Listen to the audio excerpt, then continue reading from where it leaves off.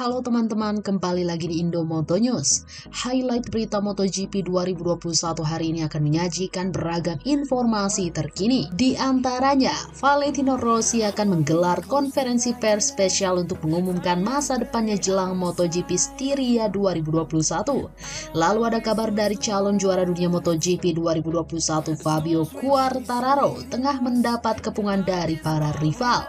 Dan juga dari rekan setimnya di garasi sebelah yakni Maverick Vinales. Terakhir ada kabar dari juara dunia bertahan Joan Mir dan rekan setim Alex Rins akan mengikuti jejak para pembalap kelas Premier lainnya dengan menggunakan ride height adjuster di Red Bull Ring akhir pekan ini. Seperti apa beritanya? Mari kita simak ulasan lengkapnya dalam video berikut ini.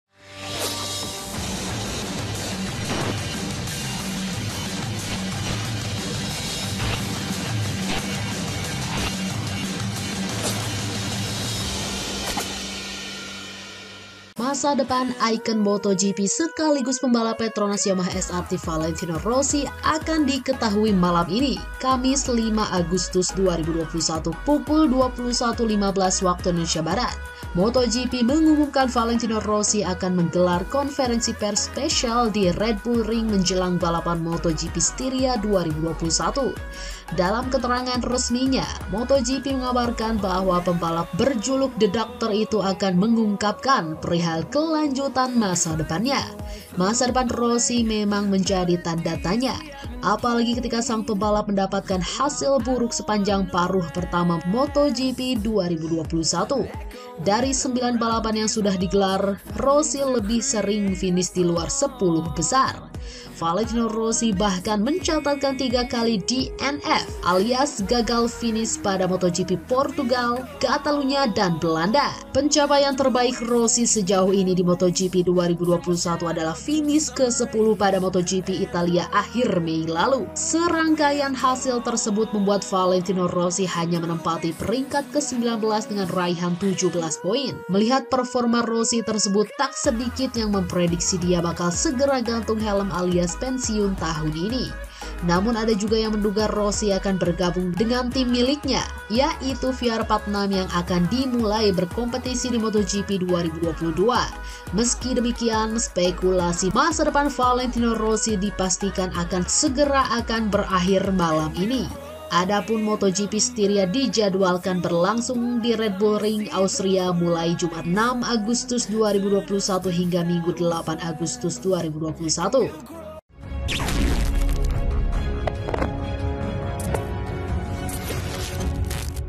mengakhiri paruh pertama MotoGP 2021 dengan keunggulan 34 poin membuat Fabio Quartararo difavoritkan menjadi juara dunia musim ini.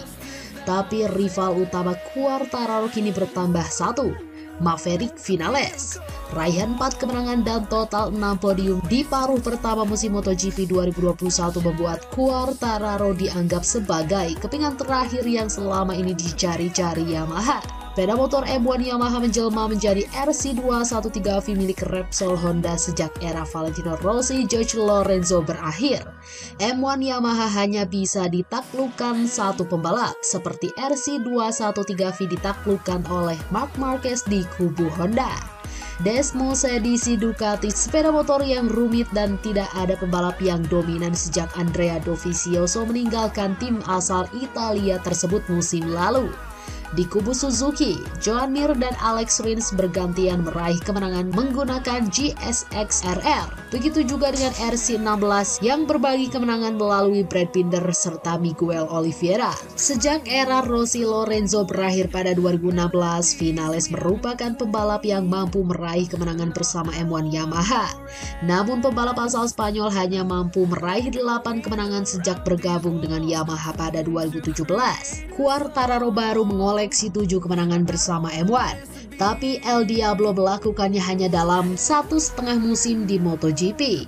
Empat kemenangan di paruh pertama MotoGP 2021 sudah mengalahkan rekor tiga kemenangan Quartararo selama dua musim di Petronas Yamaha.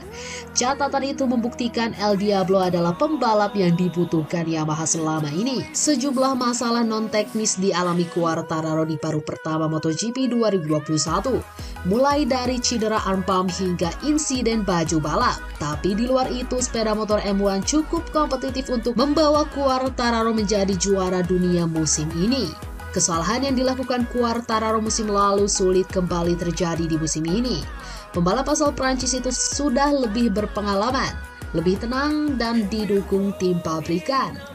Di atas kertas ada empat pembalap yang pantas disebut sebagai rival Fabio Quartararo dalam perebutan gelar juara dunia MotoGP 2021. Dan tiga di antaranya adalah pembalap Ducati Johan Zarco, Francesco Pecco Bagnaia, dan Jack Miller. Satu pembalap lainnya adalah Joan Mir yang merupakan sang juara bertahan.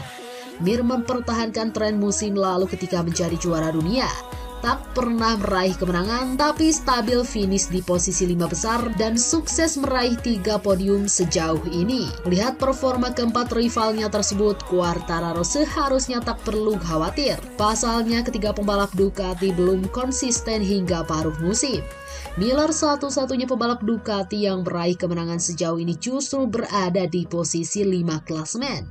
Sementara Zarco yang merupakan pesaing terdekat Quartararo justru belum pernah meraih kemenangan.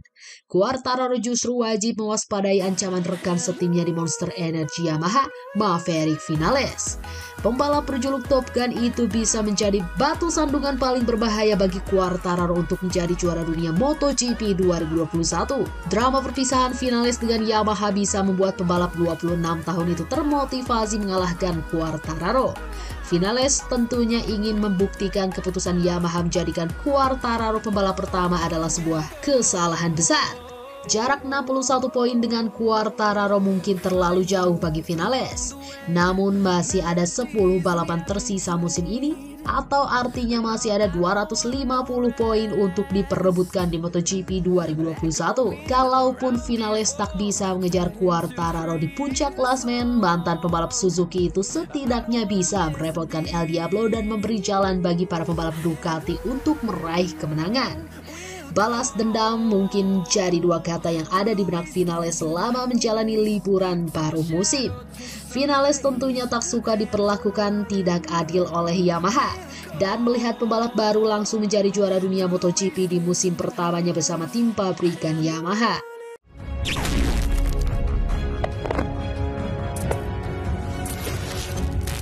awal bulan lalu, Suzuki tengah mempersiapkan ride height adjuster dan rencananya perangkat baru itu akan dipakai saat Mir serta Rins berlomba pada double header Austria.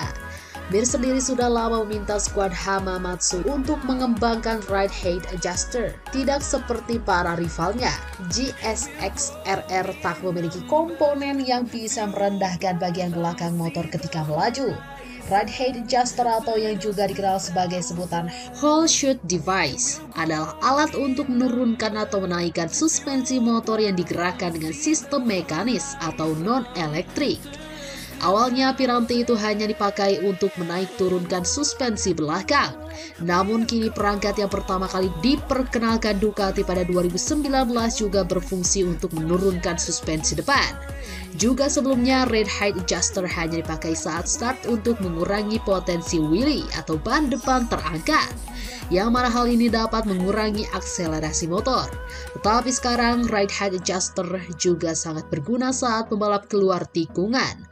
Tujuannya masih sama, menghindari wheelie agar akselerasi bisa menjadi lebih maksimal. Manajer teknis Suzuki Ken Kawauchi mengonfirmasi bahwa pihaknya telah siap untuk memperkenalkan ride height adjuster guna mendongkrak performa GXXRR hingga sisa musim ini.